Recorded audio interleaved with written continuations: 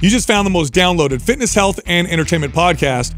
This is Mind Pump. All right, we brought back our friend Mikhaila Peterson onto the podcast. We had her on a long time ago. Since then, she's absolutely exploded with her podcast, the Mikhaila Peterson Podcast, which really talks about everything health, physical, mental, and even social commentary. Very intelligent young lady.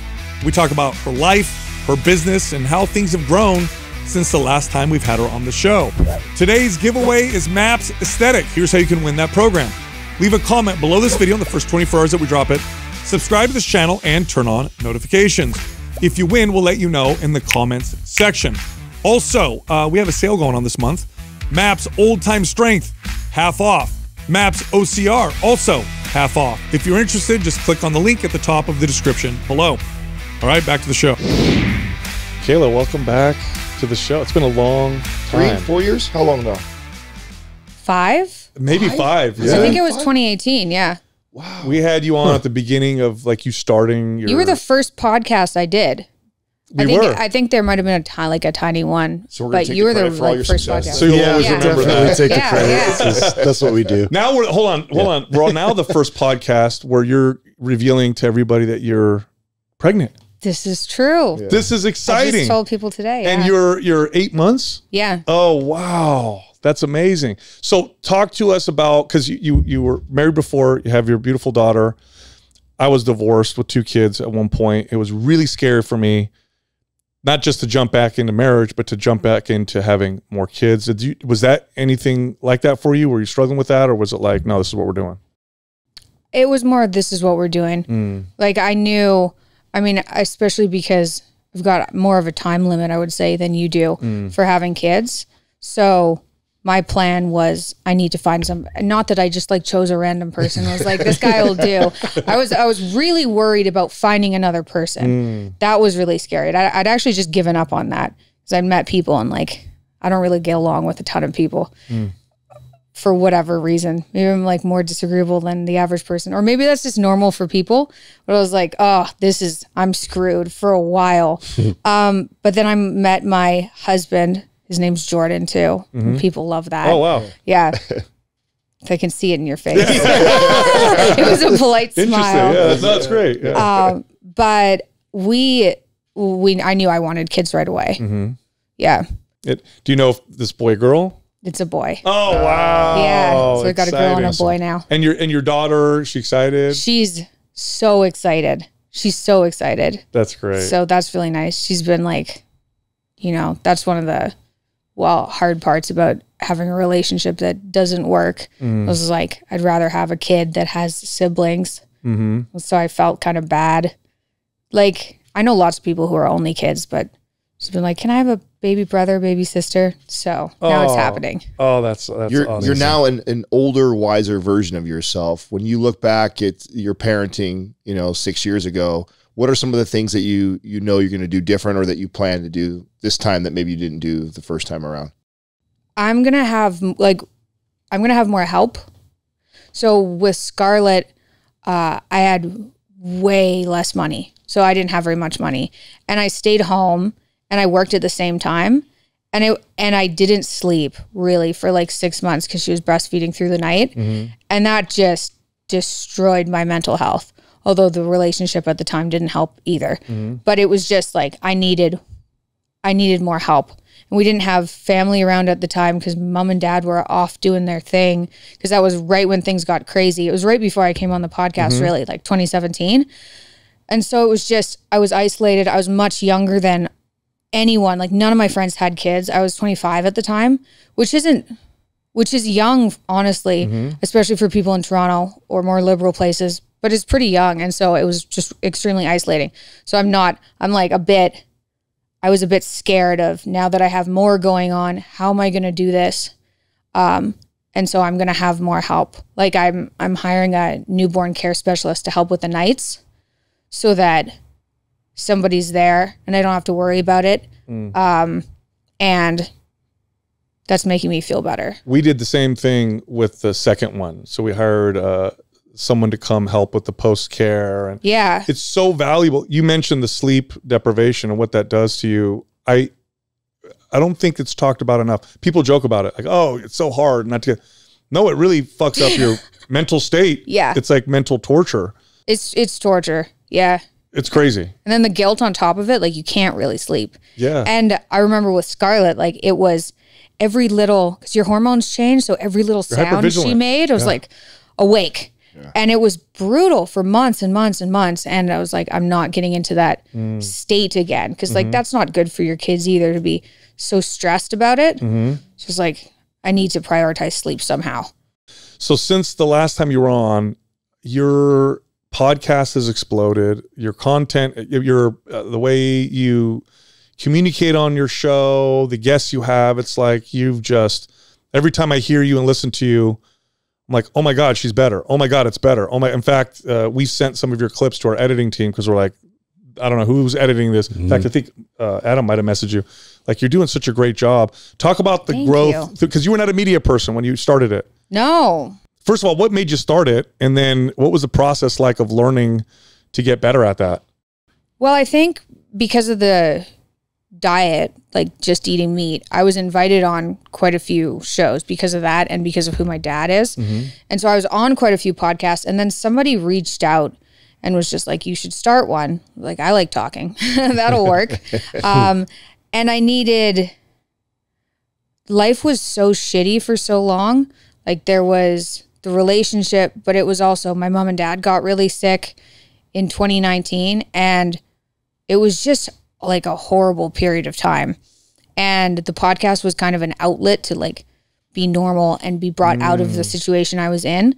So I kept doing it even though I was in pretty rough shape in like 2019 and 2020 uh, from taking care of my dad. So I kept doing it. I liked it. It was growing. People seemed to be listening to it. So I always did that kind of on the side um, from other work this is like hard to monetize until you have more of an audience. What did you do? What, what other work did you do? You're helping dad out, right? When you you were Yeah, help- I managed. I managed his brand. So like setting up all the social media channels and then negotiating business opportunities and making sure people aren't taking advantage of him. That's a big one. Uh, so like most of my time, I'm still doing that. Most of my time was that. But I was like, might as well grow something on the side. I was also worried that I had some negative articles come out about me, um, especially at the beginning when people were like, "You're gonna die if you do the carnivore diet." yeah. and I was like, it's uncomfortable not being able to talk back to these giant like media corporations and say, oh no, I'm not just a weird meat girl. Like I'm a person. I'm pretty normal, I think, maybe. Um, and so part of the need for growing a social media uh, following was so I had a platform to speak back against like articles that just weren't real about mm-hmm. me. It was like a safety net. Yeah. what have been some of the biggest challenges of doing it so far for yourself? Well, let me see. Challenge. pff, I don't know.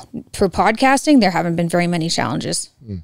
The, the other things in my life were so awful that the problems that were podcasting were like, oh, the camera's not working. Oh, I had you on one time when I was in Dubai and it was brutal. It That's broke- the worst. Yeah. That was the worst a bunch of times. Podcasting episode I've ever done.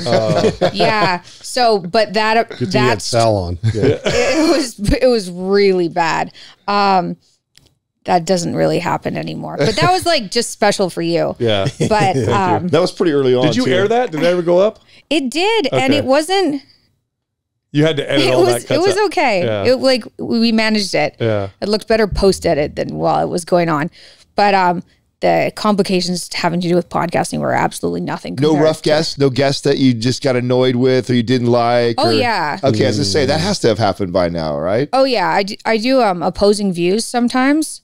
So it's usually a contentious issue like I just did one on the Gaza Israel issue. Oh, wow. They touched that That's one. a- Oh yeah. Yeah. That's a tough one. So I had somebody on from both sides that you know believe that they're 100% right on Yeah. both sides.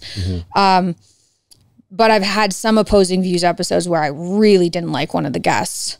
But um it's pretty easy to stay neutral if I'm just I usually ask the people the same questions so it's just a neutral conversation so I don't have to like debate.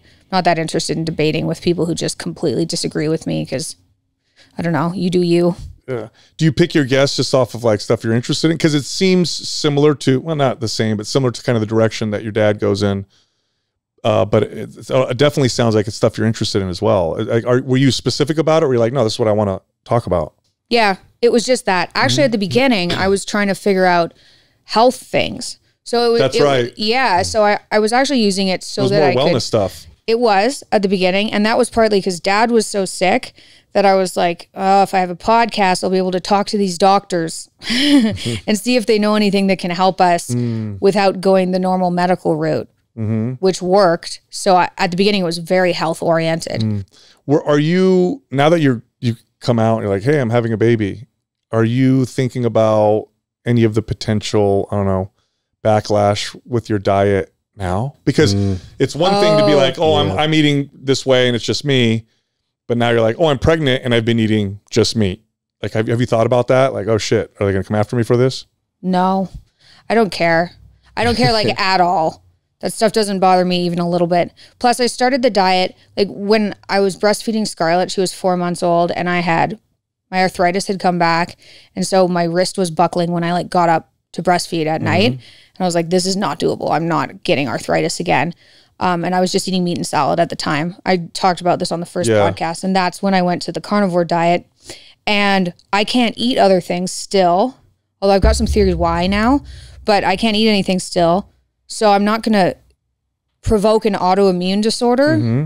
so that the public will feel better about the health of my baby. Like I'm so glad me you said having an autoimmune disorder is not healthier for the baby. I'm so glad you said that. By the also for people who don't understand this, like autoimmune can be deadly to a baby because you're you're you're hosting, uh, you know, a foreign, I guess, entity, and if your immune system all of a sudden thinks that that is not good, then it'll attack the, the child. Oh. So you don't want autoimmune shit. When No, not at all. And I go like, um, people get different symptoms with whatever they have. I had juvenile rheumatoid arthritis, um, but I had a host of cognitive symptoms. And it's the cognitive symptoms that really get me. So if I go off the diet, I still get really volatile and really anxious and really depressed. And I can't think and brain foggy.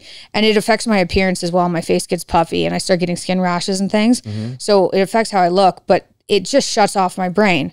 So there's just like I would be eating other things. It's been really hard during the pregnancy. Like the one part of the, the Yeah. pregnancy. What about cravings and stuff? It's been rough. Like um, the craving. Like I've literally cried over a cucumber like multiple times. Seriously, been like this is so like messed up. Um, but I've ha- I got hit with a meat aversion, which can hap- happen in pregnancy. Happened to my wife actually for the Yeah. first trimester. Meat made her nauseous. Just to look at. Yeah. So I was like, that probably won't happen to me because all I eat is meat. I've been only eating meat for like, it's going to be six years in December.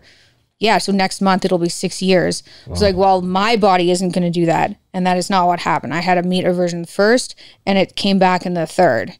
And so it's just been like, that's been brutal. What do you do when that happens? You just got to force feed yourself. Yeah. It's either that, like, I started eating chicken, which I don't normally eat. I usually just eat beef because chicken doesn't make me feel as good. And that's a little bit more palatable, but like, it's miserable, miserable diet when you're pregnant.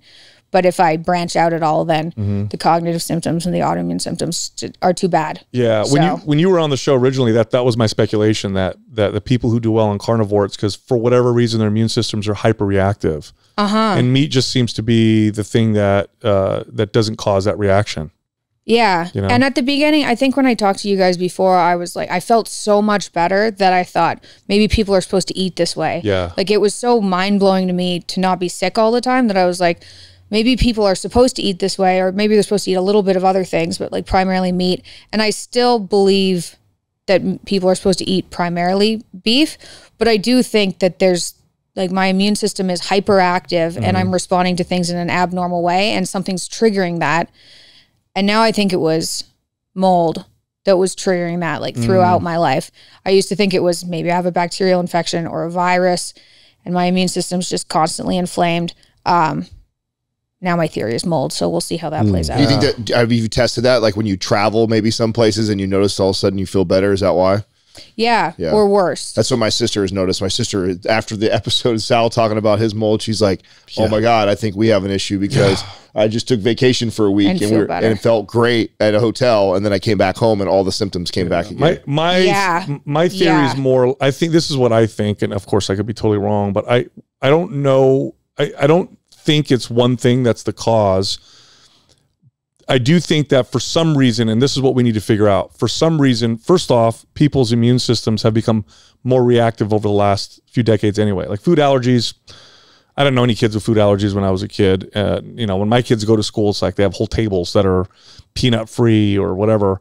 So something's going on that's causing our immune systems to become hypervigilant. And in extreme cases, it's someone like yourself. And so they're just more reactive to anything that you could become reactive to. Mm-hmm. Things that are in foods, mold, maybe mm-hmm. maybe viruses, bacterias could be a part of that. It could be almost anything. You just got to figure out what the hell is that root thing that's going on because it's becoming more and more common. Mm-hmm. You know, you're probably running into more and more people, I would assume, that come up to you and like, oh my God, this helped me.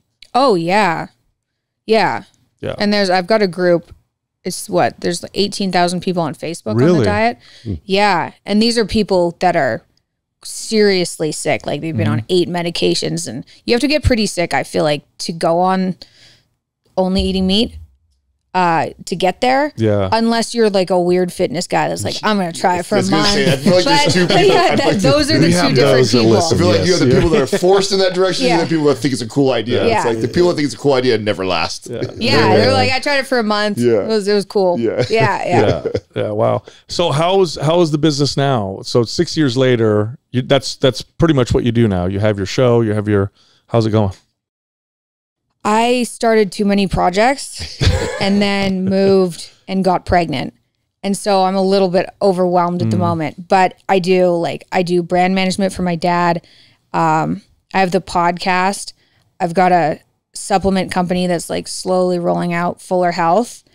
And then we're launching Peterson Academy like in the new year. that's right Yes. Oh, that was way too many things at the same time. that was like that was too much. But things are going well. are you delegating some of it do you have someone helping Oh, you with yeah. the okay Yeah. Oh yeah. So there's like somebody there's one person running the supplement brand. Um and I have like dad has a number of employees helping his brand. Uh, and then Peterson Academy has like, I don't know, 25 employees. Okay. Because there's a lot going on there. But overseeing that, um I'm stretched a little bit thin. Do you But with the pregnancy you'd be and anywhere the move. yeah Oh, it's- Yeah, yeah. that's crazy so uh supplements let's talk about the supplement company. what made you go in that direction uh, you gave us a, a sample you gave us a bottle of one of your products that's for helping the body break down alcohol is that the only That's the supplement only you have right now okay Yeah, that's the only supplement for now. now why in that direction Well, I can't tolerate fillers because I'm allergic to everything. I can't tolerate fillers in supplements. So Oh. finding supplements that I can take has been impossible. So I haven't really been taking supplements. So what are the fillers that you're talking about? The capsule's gelatin typically, which is okay, right? Yeah, gelatin, gelatin fine. Even the like the cellulose capsules, that's fine. Okay. Um, it's magnesium stearate that's a problem, Yeah. and that's in a lot of them. Um, and that gives me like gut issues almost immediately. So that, but a lot of them have like rice, some sort of rice filler. Uh, it's like people don't usually make them. Oh, eh, they don't make them because if you if you work with people who use machines to make the supplements, they use flow agents to help the machine flow the supplement. Oh, so it isn't clogged up in the. Yeah. Okay. So they say, oh, well, we need to add this additive because it's a flow agent. Now, it turns out if you're just picky and annoying, they'll just get rid of the flow agent and go, oh my gosh, no, the machine still works. Okay. So that's what we did. Okay. So you look. You want to create products for people who get reactive or can be reactive to Yeah. lots of different things. Yeah. So the products are literally just cellulose capsule with whatever you want to take in it, as opposed to these other fillers. And I would assume most people don't have problems with fillers, but magnesium stearate I know can cause issues in people. You know what's funny about what you're saying? So you're so reactive, it's easy for you to see that you have a reaction. Mm. But there's a lot of us that have kind of low level reaction. Mm-hmm. So it's hard to pinpoint.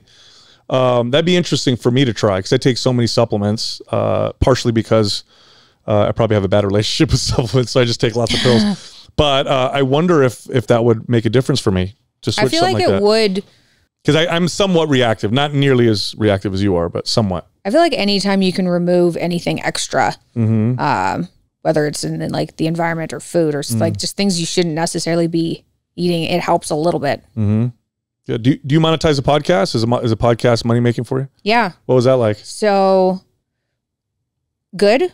It's and it's that's going really well. So I have a couple of sponsors. Um, I'm pretty picky about the sponsors. I had to switch like after this mold scenario uh, from Miami, I, I had to switch the air filter I was advertising because I was advertising this air filter, and then I realized, oh, there's actually a major difference between air filters and what particle size they filter. I don't know if anyone cares about this, I but do. like, No, okay, I'm, interested. okay, I'm interested in it because I know you have big brands like Air Doctor out there. You our have- air doctor's good. Mm-hmm. okay, yeah. There's, So what do you want to look for if you want to use an air filter that get- gets rid of like, you know, like mold spores? Yeah, so you want to look for a filtration size of 0.03 microns. So there's only a couple of brands that actually go down to 0.03 and that's because they pick up fragments of mold spores, which is mostly what's hanging out in the air if your HVAC has mold. Mm-hmm. It's not whole spores. It's fragments. Okay. So it just needs to filter down to 0.03. Okay. We use Air Oasis. Air Oasis is really good. Okay. Okay. Otherwise, it's just getting through the filter. Yeah, and so the the company I was advertising before, they filter down to 0.01, which is pretty normal for an air filtration company. And then I was like, "Oh, that, you know, can't do that one anymore because they're not the best." And I didn't know that until that's just- interesting. I wonder how many Dude, air I just filters. bought six air filters. I didn't even check that. I hope that's not. I know. I'm gonna have to buy a bunch of new ones. Did you not do Air replace Doctor? Because that's what we have in the studio. No, I didn't because cheaper, huh? no, Oh, yeah, I so- did. so you're gonna- I there know, you go, son of a fucked bitch. up. You Yeah. buy Trying to three save, trying a to save a dollar right there, guy. You got the, Every time, the dude. knockoff Gonna pay freaking for it. filter, Uh, just pushing your hey. spores around. They don't. Yeah. They don't. They don't. They don't sponsor us. spinning That's around Air your Doctor's house. fault. Sponsor us, and then maybe I'll use your, your product. I actually wanted to get. Maybe you could connect us. I actually wanted to get a, a air filter sponsor. Yeah. we reached out to another. If they send me six samples. Then- Okay, six samples, Air Oasis. is- yeah, listen. there you go. So, what was it like growing up uh, in the Peterson household? What was that like as a kid? Because you know everybody sees your dad, and now you're out in the public, so you get this idea. And I can't imagine having like what was that environment like? Was it like very different from normal? Was it like dad t- blowing everybody's minds all the Right. time with his talks? What was it like? Were you the jokester? I didn't know any different, so I thought it was normal. But then once I moved out, started living with roommates and things, I was like, oh, my dad's pretty uh, eccentric. That's what I thought. It's like I've got a pretty eccentric dad, especially when I started seeing other people's houses. Like our house was full of Soviet Union art, full with like Yeah, that is weird. completely full. Yeah, we had over a hundred paintings in there. Like every wall was almost a different color. And then I go to somebody else's house and it'll be all white. I'd be like, oh, something's different. Um, but he he worked quite a bit. Uh, not that I didn't see him, but he did work quite a bit because he had, you know, he taught at U of T and then he had a psychology practice. And then he, had a couple of online products that he started like 20 years ago that didn't really pick up steam until now. So he had three things going on all the time. So he was kind of busy. Um, but yeah, our talks were pretty similar to what he lectures about now. So there was a lot of there were a lot of family sit downs if anything was going like even remotely sideways and we're like we're not leaving this table till it's sorted out. Oh, wow. That was that was normal. Now, how was that as a teenager? Were you rebellious about that? Oh, or were you- yeah. oh, you were. Yeah, and I think that's partly because I was I was really quite sick and depressed and mm. I was so angry. And my dad always said like tell the truth no matter what. Like tell the truth no matter You're what. like, all right, here it is. Oh yeah, and so I'd go do something that they wouldn't approve of, you know, like drinking, say, like mm-hmm. on a Friday as a teenager. Like, what were you doing last night? This is what I was doing last night, and then I get in trouble, and I'd be like, okay, you told me to tell the truth, and now you're getting mad at me. My brother just wouldn't say anything, and he didn't get in trouble. And I was like, well, that doesn't make any sense. Why am I getting trouble for telling the truth? But I went like overboard. I was a little chattier than I probably needed to be as a teenager. Look at all these things. So yeah, I was uh I was I was a bit of a mess as a teenager, but I think it's because I mean I was on antidepressants, I was on birth control, and who knows that's not a great combination uh on top of having an autoimmune disorder. So I was it was like I was angry. It influences the psyche. Yeah, I think you said even at one point you were on stimulants to help Adderall. offset. Yeah, which also affects I psyche. said the whole gamut, man. Sounds oh like a, man, sounds like I a was party. on. I had by the time I was 23, I had perfected a mix of cocktails to like keep me fairly functional. Wow. What? Now compared to now, not even close. But I had like Adderall to get rid of the chronic fatigue. I was taking Benadryl at night to sleep. Um, I had the antidepressant. I had birth control, which was partially for my skin. I was on an antibiotic that was for my skin, and then I was on the immune suppressants for the for the arthritis. And I was on a prescription strength antihistamine because I was allergic to everything. So I was on so many things. But when I added in the Adderall, I was like, I'm awake. Now I wasn't like awake. I was like awake. That stuff is insane. Yeah. It is crazy. I don't know how to first give that to I didn't kids. have, Yeah. I didn't have a, an Adderall pill till I was a, a adult in my late twenties, and I'll never forget uh, trying it for the first time for totally not any reason other than for recreational reason. And I went, "Holy shit! It's a drug. They're giving we this to give kids. Yeah.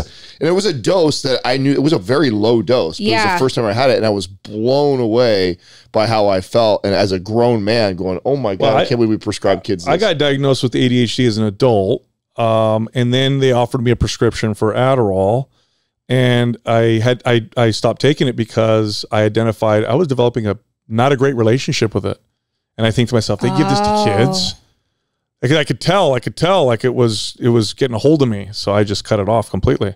Not that I needed it in the first place; I'd already done my business and everything, but you know, they give you something and you feel it, and you're like, cool. But uh, Yeah. yeah, can't believe they give that to kids. I think I was on so much at the time and I was so sedated. And I think part of the reason I had chronic fatigue, I believe the fatigue was there, but I think it was a side effect of the antidepressant. Because I was on a high dose of an antidepressant and I was on it at such a young age that I didn't know. But I think the chronic fatigue might have been a side effect. Yeah. So I was balancing side effects. So when I took Adderall, I was like, oh, I'm finally awake. I Sure, can think. Sure. But then when I started to go into the paleo diet and I started to get off of my medications, the Adderall like changed and it got rid of my sense of humor. Oh, I see. Um, it destroyed my appetite the whole time, but it really impacted my sense of humor. And I started getting foggy. So it wasn't like I woke up, it was like I'd get overly focused on one thing and like obsessive. And it just, it wasn't fun. Not that it was fun before, it really was just like hyper caffeine. But um, once I started to go paleo, I was like, oh, this is not good anymore. What was the coming off for you? Did you have to do like one thing at a time, or did you go cold turkey? What was it like coming off everything? so I I made a huge mistake there, and um, I stopped taking the immune suppressants. I didn't have the support of any of my doctors because I was like, it was 2015 at the time with a paleo diet, so my doctors were just like, "You're crazy." Um, and so I stopped the immune suppressants. I didn't even tell my doctors. I was lying actually, because you can get fired in Canada for going to a rheumatologist and not listening to what they say. So I was like, yeah, I'm still on it. And I was like, okay, doing well. Like, yeah, pff, whatever. but so I stopped that. And then when I went gluten free, I stopped that. Um, and then when I cut like grains and processed foods and soy and dairy and eggs and like cut a bunch of things out, I stopped everything else over a two month period pretty quickly. Like I would say Adderall, I just stopped. Hmm. Like most of the things, things I just stopped. Antidepressants, I stopped in two weeks Wow. and I felt amazing. And then I got hit with antidepressant withdrawal, which I didn't even know was a thing. How and long I, does that take to hmm. kick in usually? Or how, how for long did it me, take for it started two weeks after I stopped taking it. and what does that feel like? It feels like you're trapped in a horror movie permanently. So just fear? Yeah, fight or flight. Uh, I had uh, skin sensitivity, so I had to stop wearing like. I still don't really like polyester, but like I couldn't tolerate polyester or really soft touch. It just felt like it almost hurt. Um, I wasn't able to go around fluorescent lights easily because the fluorescent lights Wow. hurt. Different sounds hurt. Like everything hurt. And um, at the time, foods really made that worse. And I attributed all of those symptoms to food reactions. So I was having these food reactions for like three weeks um, that I don't get anymore. And I know that that was from coming off of antidepressants because uh, I've talked to a lot of people who've come off of antidepressants. Same thing. Anti like psych med withdrawal. I got off of OxyContin when I was 17 after I had my hip and ankle replaced because I was on them for a year. And that was unpleasant for sure. I um I could probably feel my brain recover for about a year after that in increments. Antidepressants were a completely other monster. Really? Yeah. I'd been on them since I was 12, so 12 to 23. Well, sure. and I was on a high dose. And these are SSRIs, just typical. Okay. Yeah. I was on citalopram. Mm-hmm. And um, it was horrible. Like, I would not recommend anybody just suddenly stopping those. I didn't know that antidepressant withdrawal existed. I knew that opiate withdrawal existed, Sure. alcohol withdrawal existed, um, but not psych med withdrawal, which is just like, whew, there's a reason. Wow. people have a hard time I didn't even know those. about opiate withdrawal until I experienced myself. I tore Mm. my ACL, MCL, and was the first time I'd ever been prescribed Vicodin. And I remember coming back to the doctor and telling him that, man, I'm, I was at the time the prescription was like one every four hours I was supposed to take. And I remember telling the doc, like, man, I'm still in a lot of pain. And they said, well, how are you taking it? I go, well, I, I take one, you know, when it hurts, it starts to hurt. So I take it. And they're like, oh, no, no, no, you need to stay ahead of the pain. And so they're like, advice. make sure you take it at four or earlier before. And so then I'm like, you know, religiously taking this thing for like six months. And then I remember like, okay, I was, I knew I was healed. I was back to training and stuff like that. And so I just cut cold turkey. Yeah. And then the next day Yeah. had like the most awful flu symptoms and I couldn't sleep that night. And then the next night, the symptoms were even worse. And I'm like, man, I still had some of those pills. I'm like, I'm going to take one of those because that'll help me sleep. And I took it and it went, everything went away. And I went, oh shit. And then right away, I got on the internet right away, started searching. I'm like, oh, I'm going through withdrawals right now. I had no idea. And they don't communicate that with you when they prescribe them to you at all. No. No, they just kind of casually like sometimes, maybe not for you, for OxyContin for me, it's the it was the long acting one, and so that saturates your receptors almost constantly, which is what psych meds do, which is why they're so hard to get off of because Everything There's everything never a upregulates, break. downregulates, right? yeah. So getting off of that, I weaned down like they said over a two or three week period as fast as I could tolerate, and then when I cut it out, yeah, I had the same like sweating, flu like symptoms. I had this sensation of ants crawling under my skin. Yes. I remember like lying in my parents' bed being like, wow, this is really uncomfortable. I bet if I took one, it would go away. And I remember thinking that and being like, hell no. But what I should have done is just gone down slower. Right. Instead of just stopping. But I was so tired of being on them after a year of like sedation from painkillers. It's so awful. Do you think going through all that? Uh, because I mean, you know, when when you hear about the medications you were on, the arthritis you had as a kid, which was so bad you had to have joints replaced, going through that whole process, do you think that's just made you like? Do you look back and be like, "I'm glad I did that because it's made me who I am and I'm really tough," or you're like, "Fuck that, that's I, Um, I don't regret very many things because I think that's made me tougher. Like you said, um, I would like to stop other people from going through the same thing. They can have other things they go through that make them tough. Like, I think it's unnecessary. mm-hmm. So it's, it's mostly that. Like it's like nobody needs the frustrating about thing about the joint replacements is like the hip is pretty good, the ankle. It's just it's not a real ankle. A real ankle is way better than a replaced ankle. Mm. A replaced ankle is better than an ankle with no cartilage, but like it's not great. And if I'd found the diet and been able to put myself into remission faster, you could have then I that." could have saved the ankle. But the ankle's like is gone. So it's frustrating to be like, well, that's just me. Now, now, as a mom, right, going through all that as a kid and all that stuff, and you know, you you you have a a different view of the medical system than most people because you got to see the, the bad sure. side of it. The how are you with your children going to the doctor and dealing with things? Are you are you like you have to like carefully pick the right doc because you think they're You're going like go against super it? hippie mom now or what? Yeah, so like, Oh, yeah. where are you on that spectrum? Are you like the super crunchy hippie, like, we're Yeah. not, or okay, Yeah, I'm like way into hippie zone, and I do not, I do not have the personality of a hippie person you don't know I was gonna at say. all. Yeah. So So you're not like all ah sweet about it. all off. Oh, yeah. You're like fuck off. yeah, so no, I've told her. I mean, I've told her that there are good doctors and bad doctors, and just because they're a doctor, you don't trust them. But I tell her that with for like any Mm. Sure, that's authority everybody. figure. They're just people. Like just because they have a title doesn't mean they're trustworthy. If anything, be more skeptical. Um, but we've pretty much avoided the medical system. Now I work with some uh, good doctors, like especially since we got sick from mold. I'm working with a great doctor. And now that it's not, now that it's like 2023, there you can go out and find good doctors. Um, so we just avoid the like mainstream medical system. If I ever needed to bring her to a doctor for whatever reason, it would be a specialist in whatever's wrong, so like mold, or an integrative doctor. Are you doing are you doing traditional births Yeah. or are you doing at just wondering the home or At of home. Oh, oh, traditional. I I'm- was figuring like like, how far, traditional. how- yeah. Yeah. yeah, how far back Oh, is so you're gonna do traditional? it at home. Yeah, I had Scarlett at home. Wow. That's great. Yeah. Have you talked about that at all?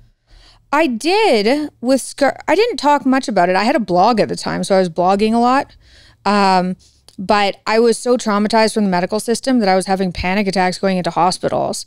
Bad place to give birth if you're I would say in the middle of a Yeah. panic attack, yeah, Yeah, not no, great. no. So usually when people ask me like what do you think I should do, I say go wherever makes you feel safest and give birth there. Yeah. So a lot of mm. people there they have a lot of trust in hospitals and they can get set up and then they they feel like they've got backup people there in case mm-hmm. anything goes wrong. And they're going to freak out if they're those people aren't there, then they're probably better off in a hospital. But I did research on how often there are interventions used. And I mean, they're used in hospitals. They're not used at home. No. Why? I don't, I don't know, but I'm I'm definitely going to stay at home. I hate hospitals. they smell weird. The lighting's bad. There's always buzzing noises. There's weird smells. And also, Like, so so uh, so I was uh, enlightened on this as a on our podcast. So we did a podcast. I don't remember what episode it was early on, and I made a comment something along the lines of like, "Oh, women." You know, modern medicine has saved so many women because women used to die from childbirth all the time. Okay, just a passing comment. A midwife emails us and says, "You're no, you're totally wrong. Like natural childbirth is very successful, Mm-hmm. very whatever."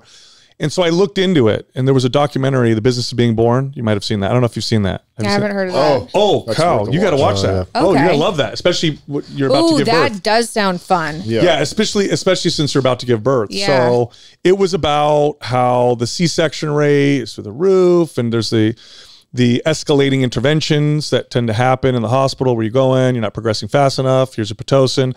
Oh, now it's too painful. Yeah. Epidural. Yeah. Oh, now you can't push the baby out. Yes. C-section type of deal. Um, and it blew my mind because I watched it. I said, Everything's an emergency. Yeah, I'm like, of course, this Yeah. makes Yeah. perfect sense. Like, like why it would be this way. So we did. We tried to do it natural with my three year old. Didn't work out. We experienced the the scale of interventions with him, which was like, oh my gosh, this is terrible. And then my youngest, we were able to do it the way we wanted to, and it was such an incredible experience. But I remember learning from a midwife that, and they said, look, um, when animals are giving birth in nature, when danger comes or they feel danger, their body stops giving birth so they can get away. Mm-hmm. So if you're the reason why a lot of times moms are like, "Oh, I'm in labor," take them to the hospital, and they're like, "Oh, labor stopped," because of the anxiety and the fear. I'm in the car, get over here, prod you, check you, whatever. You want to create an environment where it's like you feel totally safe, so that the whole process. and That's it why I think her advice, actually, to people that ask, that's really good advice. That's what I was just gonna say. Like top Go of where the you list. feel safe. Yeah. Yeah. Well, the the thing that really got me 'cause, um, was that if you get stressed out and your cortisol goes up, Mm-hmm. which just happens if you get stressed out, that directly lowers oxytocin, Yes. which is what induces contractions. Yep. Yeah. That's enough. Don't stress out. So Yep. whatever you do, like get ready to be as zen as possible and let your body do its thing, and then your body knows what to do. Generally speaking. Yeah, not to mention this is such a fascinating topic because like a year ago we we just had Dahlia, but not to mention just the like the contractions that you get naturally versus the ones that are induced by pitocin. Yeah. Pitocin contractions are like boom, Yeah. like very regular. Vicious, yeah. They hit you hard.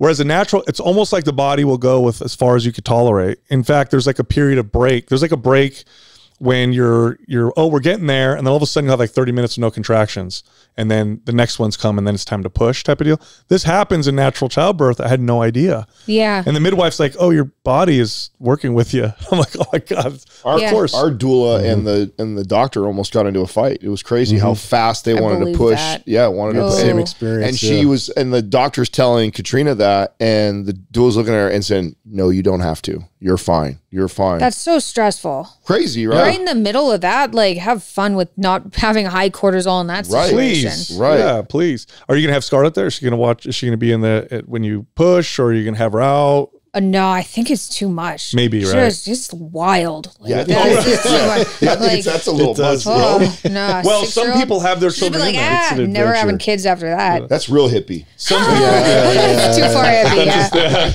the whole family's in the same the placenta. Yeah. As you're having baby. Yeah. How how is she as a little girl? Is she? I mean, you were you were rebellious about. You said when you grew up. Was she? Is she like that too? Does she have your spirit? She's more stubborn than me. I don't think I actually was that stubborn. I think I was just really sick Okay. and then really angry from all the medication. Like I really think it was that. Um, she's more stubborn than me, but she's really easy. She's a really easy kid. It was rough. Like we moved from Canada to Nashville to Miami, and now we're in Arizona. Oh, that's a lot. Yeah, because we moved to Nashville and she got sick. And I started seeing symptoms that she had that I had when I was a kid, uh, like chronic bronchitis. And I, and and she wasn't like running around being a happy little kid, which she was doing in Canada. She was just like mm. sad, kind of. Mm, uh-oh. I don't know if it was depressed, but just suddenly she got quiet. Mm. And I was like, oh my gosh, she's got like bronchitis all the time and she's quiet. Something's wrong. Something's wrong. Something's had to terrify you, huh? Oh, just horrible. And I was like, I got her tested for tree allergies. She had all the tree allergies. I was like, okay, this is not heading in a good direction. And so we moved a bunch because I thought it was tree allergies at the beginning, but it turned out it was these stupid moldy houses. Wow. So she, now that we've moved to Arizona and we're really aware of like what's in our environment, she's a completely different little girl running around. She's way more extroverted than she's been in like two years. Oh wow. Her stomach aches are gone. Like so, I noticed a change in my son's personality. Yeah. Like, he was way more irritable. I mean, he's still oppositional anyway. I mean, he's going to be he's my son, and my wife is even worse than I am. But he's uh he's definitely happier. He's less Yeah. like annoyed or whatever. So, and we think it's that. And it's only been it's only been a couple months. Yeah. You know. Has to make you think like how many parents are, are dealing with that and have no idea. Well, then they give their kids You know, medications or they numb it. them with other things because they don't know. They have no idea. How did how did you work out? If you don't mind me asking, how did you work out custody with Scarlett? Uh, that was such a tough. That was so hard for me because my ex wife and I split. We're dual custody. We work together. We live close to each other. But that's so hard because every still. I mean, now I'm like, what is it? Seven years, eight years later. You know, saying bye to my kids every other week. It's really Yeah. really tough. How do you guys manage Oh, that? it's miserable too. The pregnancy hormones has made that so much harder. really. like I I could stuff it down. Mama Bear comes out more or whatever. It's it's brutal. You can kind of because you're in that situation, and that's the situation. you have to make the best so of you kind of like stuff down. You're like, yeah, no problem. Like, go have fun. I'll see you next week, type of thing. But with pregnancy hormones, whew, it's like gonna make me cry now. It's Mm. rough. So you guys do you guys split custody? Yeah, we split custody. We go back and forth weekly, and he's moved too. Oh, I was just gonna say. So he lives near. Well, that's good. Yeah, So you guys work, I mean, together generally uh, to co-parent. Yes, Okay. Yeah. Well, obviously, if he moved here, I'm imagining Well, I mean, that had to that's- been a negotiation. well, in I, you know. I asked because that was a because negotiation for sure. Yeah. Yeah, well, because when I talk about it on the show, I always get messages from moms and dads because uh, their situation is much more challenging, where the other person doesn't want to participate, and that's got to be tough. yeah, we're trying to get Money Sal to move out of California, and that's I, I can't because I don't want to be near my kids. yeah, You Yeah. know? yeah, Yeah. So you guys work that out, all right? That's good. Yeah. That's good. Having money helps those situations. yeah. it's- It does a lot. Yeah. So Thank you God. Yeah. you must have purposely driv- uh, moved moved to Arizona then because of the dry weather. Yeah. Wow. And I, I mean, I really like Scottsdale. Like I really like Scottsdale, Mm-hmm. but it was. I was like, I'm never dealing. I'm pretty sure most houses. I looked at the stats too, have a mold issue. Yep. Um, And in places like Florida, like you have to actively try to not like it's impossible. It's too humid there. Mm-hmm. So I was like, well, Florida is not the place to be. Um, I'm going to the desert. I was so sick. I was like, I'm going to the desert. Scarlett's sick. I don't want her to get sicker and then develop something. The doctor I was talking to was like, little kids recover really quickly if they've been exposed to mold. Um, you're going to have a harder recovery than her. She just needs to get out of it. But if she stays in it, then that can progress into autoimmunity and all these allergies and things. And I was like, okay, we need to get out. Desert. Yeah. Okay, that makes sense. Smart. So when you were younger, um, during all that, were you dating? Did you bring boys home? What was it like with your dad? And because he seems like he could be an awesome dude to hang out with, or seems super intimidating. intimidating, I would say. or Yeah. super intimidating. You Yeah. know? he was in in, their he was intimidating. Yeah. So the first person, and this was just like a middle school like date type of thing, like pretty So you so, got a story? pretty young. yeah. the first person I brought over who told me that he loved me. And I Mm. told my parents, I don't know how it got. I think my dad had probably asked, like, does he love you? Looking at me. And, and and he had like a sit down with the person oh my god. who was just this like like 13. kid. Yeah. It's like, why do you love my daughter? I Did he was really like, say that? yeah. I was like, okay, this is not ideal. What are your intentions? Yeah. it was not, yeah, not ideal. There's a lot of, yeah, what are your intentions type So of was it tough then, just bringing your boys home and try to? I'd imagine he made he probably made a lot of boys feel really stupid. I feel like I mean because he he's he's so intelligent. I think that he could probably just unpack anybody. See, I would have loved it because that's me. You're a I'd like to sit and You're talk. and- like that, Yeah, so but, but I could see how that would also scare the shit out of some kids. So yeah, He's pretty like he's a compassionate guy though, so he wasn't just going to terrify them and be like, ha Yeah. ha ha. yeah. what about mom? How was she when you she was Mom's a scarier person. my Oh, That's what he says too. Yeah. You're, uh, Oh, Jordan it's says the same thing. Yeah. I used to so bring friends home, and my friends initially would be scared of dad because he's louder. And then after like the second time they came over, like, oh no, your mom is the scary one for Oh, sure. So mom was a scary one, but she's really good at she's really good at boundaries and judging people and figuring out what people want. She's like more skeptical, Mm-hmm. but she's spot on. Oh wow. And my dad's more trusting oh, and so people people get in like i had i had one night where this is in like my debaucherous years i was they're like what are you doing tonight? I was like i'm going over for a sleepover with my friend. And i'd ask my dad if i could go do things because he'd say yes. And so i asked him he's like yeah go ahead. And my mom was like you know first like where? Who's gonna be there? No. So that was like mom but she was like spot on. Mm. she was completely right. So so got away with say my yes. does yeah, yeah, that's fine. So when you mom's met- like, no, when managing his, so you're protective because you said you manage his brand and to make sure nobody you just mentioned like nobody takes advantage or comes in so so are you were you like the gatekeeper for a while because your dad Yeah. is more still is, yeah. You still I- are. yeah, yeah, I still am. I also think it's been hard for him um, to get an online following maybe when he's older Mm. And being so compassionate. So usually when people come up to him and say, "Okay, I'm going to do this for you because I want to," oh right and he goes, "Oh, this is a great person." It's like, no, what do they want? mm-hmm. is what do they want is and so i'm the person there that goes what do they want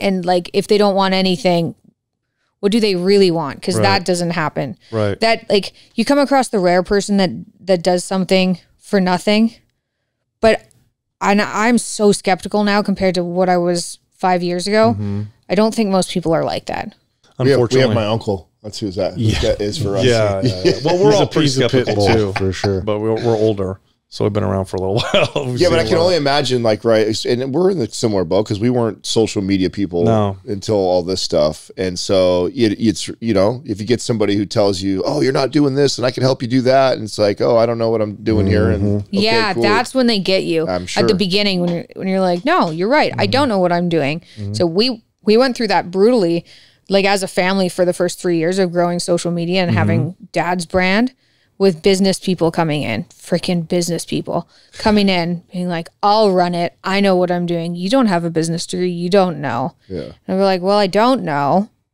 And you sound like you know what you're doing. And we just got raked over the coals from some business Really? people. Oh, yeah, taking huge amounts of money for nothing, for making our lives a lot more difficult. Oh, wow. Setting up like corporate structures to keep dad from being sued. Just in ways that were so stupid it's hard to even describe how badly things were run. Um, but it took three years to figure out that because they're like old lawyers and things. You're like, oh, you have a practice and you got recommended to us, so you must be okay. Um, but I, I've just made the rule that if you're hiring or talking to someone and you don't know what they're talking about and they tell you it's because you just don't get it, then don't work with them. Because if they can't explain it to a five year old, they really don't know what they're talking about it mm. anyway. Mm-hmm. One hundred percent. That's a for me one of the biggest red flags. Whenever somebody comes to us and tries to Jargon. talk to us about you know working together, partnership, or whatever, if you can't sell what you do to me in like less than thirty seconds to where I understand it, no, that's a huge red flag. Like Yeah. you should at least be able to do that. And we've had a few people that sit down and like an hour into it. We've gone I don't know what you do. We've I gone, feel- through, Yeah. we've gone through a lot too. How why does it take an hour to figure out what somebody does? Right. oh, Because you they don't wouldn't even know get what- it because yeah, yeah. you don't have a business degree. Oh, those aren't even words you're using. Those are made up words. Don't give me that. That's so awesome. I love that. That's Do you so have great. a? Is there is there uh like a, a, a goal or an end game for you in, in building all this? Like, do you have like, oh, I want to reach a certain point or build it to this, then then sell it off, or is this something I want to do until uh, I'm old? Like, have you thought that far? Like, what you're what you're all the things that you're building, you have your hands in. Yeah, a bit. So, Peterson Academy, assuming that's not a giant flop, which I don't think it's going to be, I think that'll work out. Um, if that brings in money, I'd like to become wealthy enough that I can start to impact the healthcare system. Mm. Because I think that the people that impact society are like the billionaires. Mhm. And so that's why I'm working on things because the healthcare system just like wrecked my family. It almost killed most people in my family. And there's so many, it's so badly done. Mm. It's so badly run. Mm-hmm. And I feel like if money could get pumped into certain sectors or if the propaganda used was actually true information as opposed to like, here's the standard food pyramid. Like I feel like if if somebody had enough money, they could start to influence that. Yeah. Mm-hmm. So that's what I want to do. So I want to make enough money. So I'm have my like hands in all these pies. What's the saying? Oh, pots. Is it? Yeah. You can't say pies. Well, I don't know why you would have a hand in a pie. Okay. Irons in the I've been- fire. I is I yeah, it's remember, irons in yeah. the fire is what it is. Irons in the fire. I mean, we I haven't understand. had pie Hands for a pots. long time. It might be the You pregnancy. think you go- Were your hands hands in doing pies. Can you, hey, know. you know how they make like vegan foods that look guy. like like meat, like fake nuggets? Do you do like do you get like fake Fake like like cucumbers. vegetables made, made out of Oh meat to help yourself out? I like. I've tried to like. Out of ground meat. Maybe yeah. if I make something crunchy, it'll like resemble lettuce. No, I've so I've, I've, I've thought about making things crunchy, but like meat tastes like meat. Yeah, I know there's nothing Yeah, you can Yeah, do about Yeah. it. you can make it into chips at least. Yeah. Make Yeah. meat chips. Yeah. yeah, yeah. They've, they've I've done that had- with yeah, but chicken. Yeah, don't like they- the pork. You've had the pork chips. and Oh, I, things like yeah, but the, but Yeah, yeah, we've had uh, that. like what pork rinds? Yeah, Doug just had some chips the other day that were like. yeah, but they use some fillers in that too to keep it to make it a chip. No. Do you know sometimes. carnivore snacks? It's meat and salt. Oh, yeah, yeah, yeah. okay. The ones that Doug had was just meat and salt. that he had the Oh, other day. oh yes, I did have those. Yeah, yeah, those yeah, are- those, those are, are really good. good. Yeah, so those are good. So you can make meat into chips. And then you have like soup, I guess. Different forms of like mushiness of meat or crispiness of meat. Is there a It's carnivore not- cookbook? like three pages. I have a ton of recipes on my website from like six years of desperately trying to Yeah. get some variety into my life. Yeah. But Are there any you're excited about? Do you have any recipes? You're like, oh yeah, I'm I so can eat tired this. of meat. Uh oh yeah, I want to make. You can slice tendons apparently, and then boil them and and deep fry them, and they turn into puffs like pork What? rinds. Yeah. Oh, interesting. thing. And I saw that like during pregnancy, and I was like, that I need. Yeah. I need those puffy tendons, maybe. Um, What's the oil you use? done. Tallow. tallow. Okay, so it's all beef. yeah. It's literally just different All beef, all the time. Yes. That's awesome. That's great. How so? Was it you that got a, that invited us to ARC? Because I feel like that was the connection that got us invited to go over there. I helped with dad was like, Who should we bring? I was like, Well, you should probably bring people with an audience. Then they'll talk about what they experienced, maybe. That's what I would do if I was trying to spread Yeah. awareness about an Yeah. event. So yeah, I helped put together the list. Awesome. Was it cool? No, it was was, Oh, it it was was amazing. Yeah. It was great. Funny though. I, I, this is why I wasn't there. It was I funny like, though I'm because I was going looking to forward to seeing I it. know, Yeah, Yeah, yeah, yeah. a lot thought of you'd a be lot there. of people couldn't figure out why we were there because you have. I mean, it was like a government, parliament people. Like, you We were and- stuck out a little bit. Oh yeah. yeah. Yeah. Well, It there were like there were a lot of government people. It was like pfft, Yeah. we don't need government people there. We need podcasters. Yeah. Right. Okay. No, Yeah, I- it we was. It was. that a It was bit. incredible. It, It was. was, But yeah. when the politicians would Yeah. get up to speak, You could tell. we were less Oh, yeah. interested. I didn't even know. I didn't Yeah. need to know they were a politician. You could, you know, they, you know, politicians talk. It's Yeah. like I'm a little over here, but I'm over here too, and I like everybody, but I don't like this. And it's like, yeah, Yeah, I hate that. Yeah. That was actually a, a, a, a bit of debate by us because Sal made the point, like, why, why, I wonder why Jordan had him there. And I thought, well, I mean, he's got to, he probably has to have some of them on his side. So part of it is, to help influence. yeah, them, to help yeah. influence. So, because he's like, it's so weird that he would have them speak because they didn't feel like it was aligned with everybody else. That was hmm. my speculation. Was like, I, I don't know everybody who spoke, but dad's also like he's been interested in politics since he was a kid. Yeah, Like he was volunteering with the NDP party in Canada. I guess the yeah, New Democratic Party. So I've just deleted Canada from my brain as a place Mm. of existence. But he volunteered there as a kid and he thought about becoming prime minister. I know when I was a kid, like it came up. It's like maybe this, even though he wasn't involved in politics. So He likes it. God, I wish he became prime minister. It would be nice to have our neighbor to the north be not sane. be that. Yeah. you know? Yeah. Yeah, that would be nice. Or it'd be nice to go back and visit there without this like feeling of horror in the air that's Mm. still there, Yeah. even though COVID's like long gone. Crazy. Do you know if he plan is is ARC going to become a annual thing? There was uh, we were all speculating too. I remember Max thought it was going to be like the TED Talk, like a more conservative TED Talk, and there's going to be more of these coming out that'll be virtually, or is it going to be an annual thing? You think? I think it's going to be an annual thing. Awesome. Yeah. Yeah. Yeah, that'll be that'll be very cool. And I liked it. I was super skeptical at the beginning because I'm always skeptical. So I was like, who are these ARC people and what do they want? they just want the marketing power. what are we getting in return? um, but then I went and sat in on a board meeting and they're really focused. I do think that those people are really focused on trying to send a more positive message for the felt that way. future. Yeah. So I was like, okay, I can get behind that. No, it felt that. I mean, I, I literally got emotional a handful of times Yeah. for some of the Yeah. speeches. So Oh, it's- that's cool. Yeah, I've yeah. seen some pretty motivational ones that came out of that. yeah, the girl, the CEO, so who ran it, was super impressed by her. Oh, she came in with fire. Her opening beginning speech, was, Yeah. I mean, you to be in there and not get like goosebumps from it. would Oh, be- that's cool. I haven't Yeah. seen that. That's Philippa's. Yeah, I haven't yeah, seen great. that one yeah, yet. Yeah. she ripped right out the gates. Yeah, and there were a lot of talks that were really, really good. Yeah, so we, we had a, a really great time. Great. It was Yeah. cool. I was So- sorry to miss that. And I was like, uh, it was eight hour time difference from Scottsdale or something like that. Plus I was like, flying, oh, I'm yeah. too like, Yeah, I'm not pregnant. it was rough. Yeah, so, we could- Yeah, yeah. so there's yeah. no way. So are you are you going to take a break from from work and stuff? I think I have to. Um, I'm going to podcast up until December, and that'll that'll be a month away from the due date. So I've the next two weeks are like, oh my gosh, there's a lot of podcasts in the next two weeks. So I'm stacking all the podcasts so that I can release through February. So that's a month off after.